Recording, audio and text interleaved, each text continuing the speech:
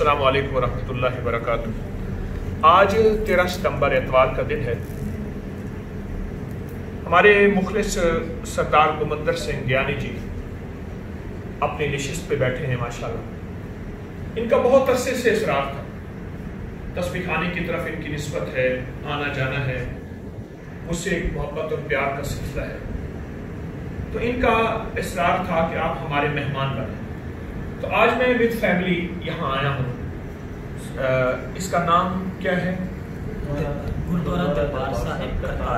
गुरुद्वारा गुरुद्वारा दरबार साहब करतारपुरा जो नई राहदारी इंडिया और पाकिस्तान के दरमियान खुली है। नारोबाग जिला सियालकोट में। तो यहाँ आज हाजिरी हुई है। मुझे कुछ यहाँ आते आते बहुत सी बातें याद आना शुरू हो गई। मैंने किताबें भी लिखी हैं। और हमारे अक्री में मुसलसल एक कालम छपता है पैगंबर इस्लाम का गैर मुस्लिमों से हुसन सलूक। कि हमारे नबी सलाम ने गैर मुस्लिमों के बारे में क्या हुसन सलूक अच्छा इस सिलसिले में मैं एक बात आपसे अर्ज़ करूँगा कि हमारे दो भाई हैं। एक ईमानी भाई, एक इस्लामी भाई। जो ईमानी भाई हैं, वो मुसलमान हैं। और जो इंसानी भाई हैं, एक ईमानी भाई, एक इंसानी भाई, वो गैर मुस्लिम है, वो हमारे भाई हैं। और हमारे पैगंबर ने, सहाबा अहल बैत ने, हमारे अकाबिर ने, औलिया सुलहा ने, एक अमन, ईमान और मोहब्बत की फ़जाएँ बिखेरी हैं। मोहब्बत को बिखेरा नहीं, मोहब्बत को जमा किया है। हमारी जो इस वक्त निज़ाम है, मोहब्बतों का, वो हमेशा सदा बाकी रहे। यकीन जानिए, ये हमारे एक हिंदू भाई हैं। आप कहाँ से आए? मीर हासिल से क्या नाम है? रविशंकर। रविशंकर। बै बैठे बिस्मिल्लाह बैठे। अच्छा मैं हजूमर रज़ी अल्लाह तु के दौर में चला गया हूँ। हजूमर रज़ी अल्लाह तु का दौर जो है वो एक ऐसा दौर है कि गैर मुस्लिमों का इबादत खाना गिरा दिया। उन्होंने शिकायत की। हजूमर रज़ी अल्लाह तु ने गैर मुस्लिमों के इबादत खाने को फिर बनाने का हुक्म दिया। और इस्लाम ने गैर मुस्लिमों के इबादत खाने को मोहब्बत दी है अदब दिया है एहतराम दिया है, न कि नफरत दी है।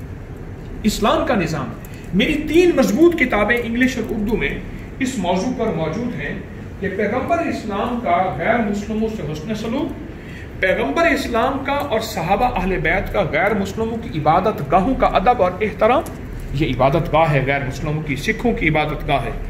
इसका अदब एहतराम हमारे इस्लाम का हिस्सा है, हमारे ईमान का हिस्सा है। और हमारी शरीयत का हिस्सा है, जहाँ अखलाक का हिस्सा है, वहाँ हमारे ईमान, इस्लाम और शरीयत का हिस्सा भी है।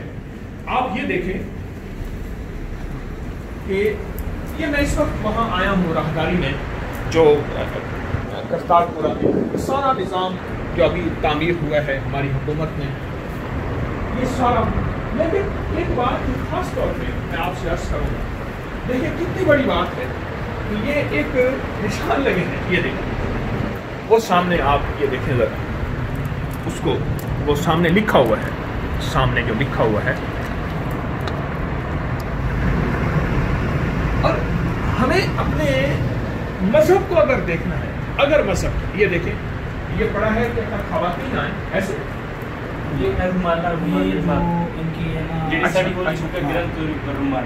रुमाले हैं। ये उनके रुमाले हैं। अच्छा ये यहाँ इसलिए लिखा हुआ है कि खातन आए तो सर ढांक के आए? मर्द आए तो सर ढांक के आए। वाह वाह। ये देखें अदब का मकाम है। इस्लाम ने जहाँ भी है अदब सिखाया है। वो अदब जहाँ भी है जो भी इबादत खाना है जो भी इबादत गाह है उसमें अदब हमेशा रहा है। और अदब की एक हैसियत है अदब का एक मकाम है अदब का एक मकान है। गैर मुस्लिमों के साथ मोहब्बत प्यार दरगुजर और शफकत इस्लाम ने हमें ज़िंदगी का सबक दिया।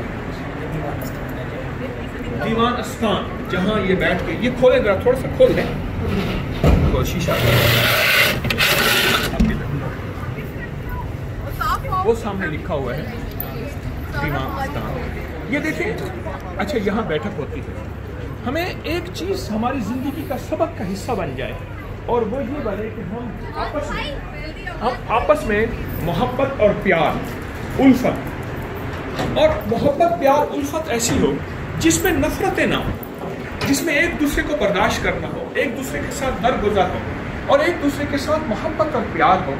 ये इस्लाम का सबक है, सहाबा का सबक है, अहल बैत का सबक है अलिया का सबक है, सुलहा का सबक है। ये, और इसमें पूरे के पूरे बाप भरे हुए हैं। अहादीस में सीरत की किताबों में सहाबा की ज़िंदगी में सहाबा ने जब फतूहात की सहाबा ने तो उन फतूहात में सहाबा की ज़िंदगी में एक चीज़ एक चीज़ सहाबा की ज़िंदगी में थी कि उन्होंने गैर मुस्लिमों की इबादत गाहों को छोड़ा छेड़ा नहीं और उनका अदब और एहतराम किया। और गैर मुस्लिमों के साथ हमारा अदब और एहतराम ये इस्लाम का सबक है और इस्लामी ज़िंदगी का अहम तरीन एक निज़ाम है। आए आज हम भी अहद करें। हम भी अहद करें कि हम अपनी ज़िंदगी में गैर मुस्लिमों के लिए दिल में खैर खाही का जज्बा हो, मोहब्बत का जज्बा हो, प्यार का जज्बा हो, अदब का जज्बा हो न कि नफरत का जज्बा हो, क्योंकि इस्लाम ने गैर मुस्लिमों को मोहब्बत दी है, प्यार दिया है, अदब दिया है, एहतराम दिया है। न कि गैर मुस्लिमों के साथ हमारी नफरत है बल्कि गैर मुस्लिमों के साथ हमारी मोहब्बत हो और हमारा इकराम और एहतराम का जज्बा हो। माशाल्लाह, ये हमारे ज्ञानी जी का बेटा है, जो है गुरमन सिंह है। ये हमारे ज्ञानी जी का बेटा है और बहुत प्यारा बेटा है।